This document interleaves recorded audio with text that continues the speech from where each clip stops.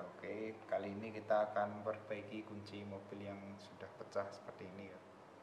Ini mungkin bisa karena jatuh atau terbentur sesuatu. Seperti ini. Untuk bahan-bahannya kita ada lem Korea nanti untuk merekatkan. Kemudian ada plastik. Ini kita ambil dari bolpen seperti ini. Ini tadi sudah kita potong kita kemudian nanti kita rapikan dengan gunting. Lalu ada lem tembak untuk membantu merekatkan. Pertama-tama kita rapikan kita cocokkan dia ke sini supaya bisa terkait dan masuk di sini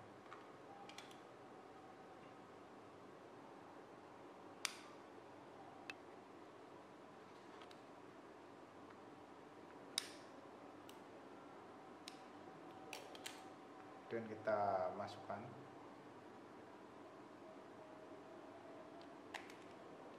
Ya ini harus pas ya.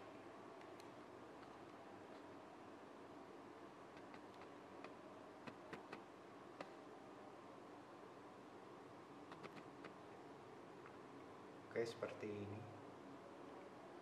Sehingga dia terikat. Bisa dilihat lalu kemudian kita lem bagian ujung-ujungnya saja dengan lem Korea. Ini fungsinya untuk memperkuat.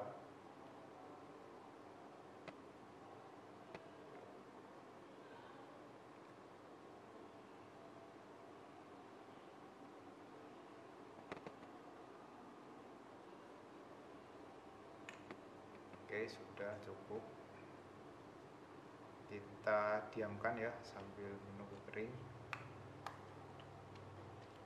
Kemudian selanjutnya nanti kita akan perkuat menggunakan lem tembak. Ini untuk lemnya masih proses ya. Nah ini mungkin sudah mulai keluar. Lalu kita mulai lakukan pengeleman di sini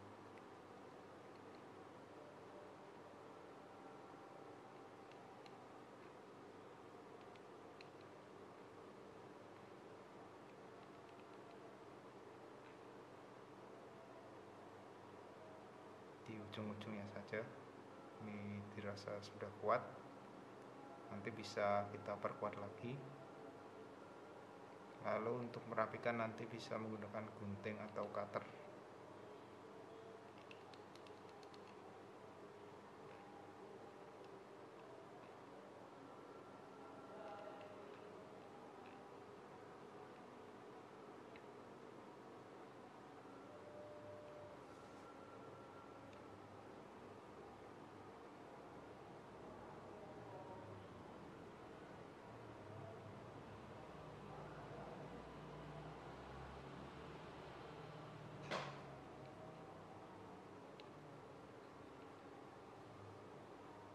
ini kita pertebal.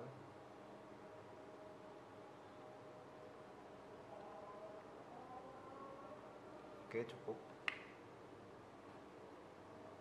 Dan kita rapikan menggunakan gunting atau sesuatu yang tajam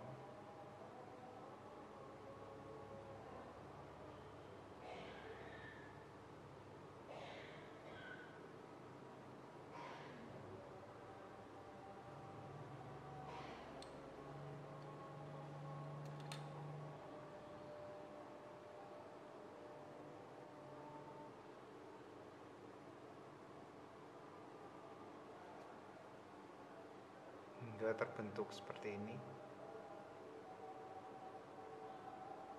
Mungkin kita rapikan lagi yang sebelahnya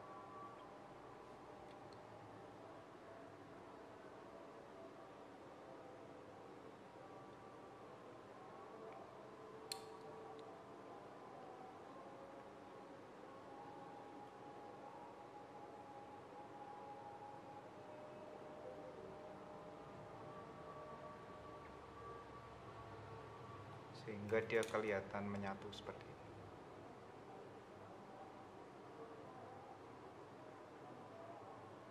Kemudian langkah selanjutnya kita tunggu hingga dia mengering. Ini memakan waktu sekitar agak lama karena ini lem tembak. Sekitar setengah jam